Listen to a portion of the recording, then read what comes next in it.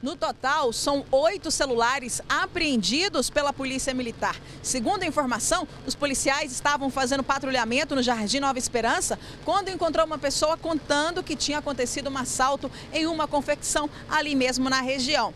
A polícia, então, procurou ali as pessoas, conversou e descobriu que tinha um telefone que dava para rastrear. Tem tecnologia mais avançada. Por sinal, não para de tocar.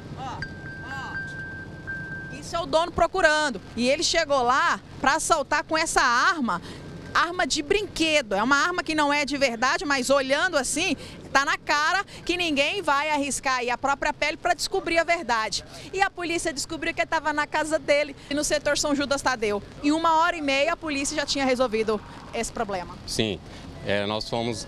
O roubo aconteceu por volta das 7h30. 7h45 nós fomos. É, encontramos a, a, vítima, no qual relatou.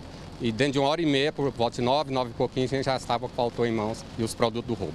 Essas televisões não são lá da confecção. Informação que ele já estava praticando outros roubos. Não, essa televisão não, não faz parte do roubo dos, juntamente com os celulares, porém ele não tem procedência dessa televisão. É, diante dessa situação, a gente conduzimos aqui para a CGF para ser apresentado e posteriormente será feita uma investigação para saber de, de quem pertence os aparelhos. E um dos donos desses celulares acabou de chegar. Você que estava pitando ali, buscando ele? Isso, foi eu que fui para buscar o aparelho, estava dando aqui dentro da delegacia e acabamos localizando o aparelho. Você trabalha lá na confecção, foi uma das suas funcionárias que teve o celular roubado. O que, que te contaram? O que, que aconteceu lá hoje cedo? Foi, eu estava indo cedo para trabalhar, né? Como, como todos os dias normais, e assim que ela foi virar a esquina para chegar na empresa, bem próximo, a 100 metros da empresa, ela foi surpreendida com o indivíduo.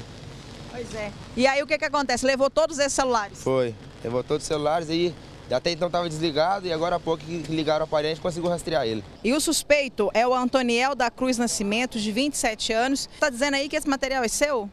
O celular, o celular não é meu, mas a, a TV todas as duas é da minha esposa. Tem comprovar? Ela vai provar, pode ter certeza. Ela vai trazer os comprovantes, tudo, recibo, para provar e pegar a TV dela. E esses celulares? São oito? Os celulares tem um que é meu e um que é dela e os outros foi tudo furto. Você que furtou? Sim, foi eu. Por quê? Teve alguma necessidade? Sim, por falta de dinheiro mesmo. E você não contava que um deles tinha uma tecnologia que dava para te entregar? Sim. Você sabia? Sabia, bem claramente. Não deu tempo de desligar? Não, estava desligado. Tava... Mesmo assim te achou? É, é assim mesmo, né? Quem faz pelo errado tem que pagar pelo certo.